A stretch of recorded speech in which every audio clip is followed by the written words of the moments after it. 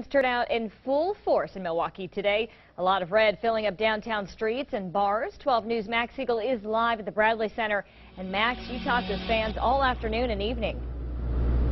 I did, Tony, and a lot of them heading out right now behind us live here at 10 o'clock. They've been filing out here over the past half hour or so since this victory tonight, leaving happy. And you know, this was a day that Badgers fans, diehard Badgers fans, weren't going to miss, whether they were watching it right here at the stadium or at their neighborhood bar. It's game time at Kelly's Bleachers in Milwaukee. A lot of red packing this place to watch the Badgers take on Oregon for a chance at the Sweet 16. Huge Badger fan. Went to the U myself.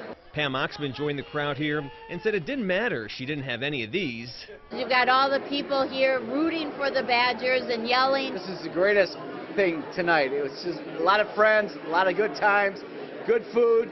Mark Kalen from Glendale said, win or lose, it's been a good season for Badger fans. The people want excitement, and they're getting it this year with the Badgers. For Badger fans going to the game Saturday, it was game on well before game time. Fans lined the streets all around the Bradley Center.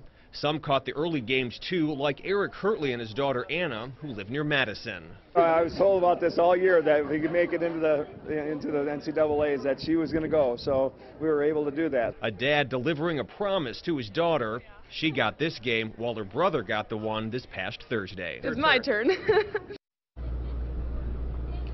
So a special day for that father and daughter there, made even sweeter by tonight's victory. We're live downtown at the Bradley Center. Max Siegel, WISN 12 News.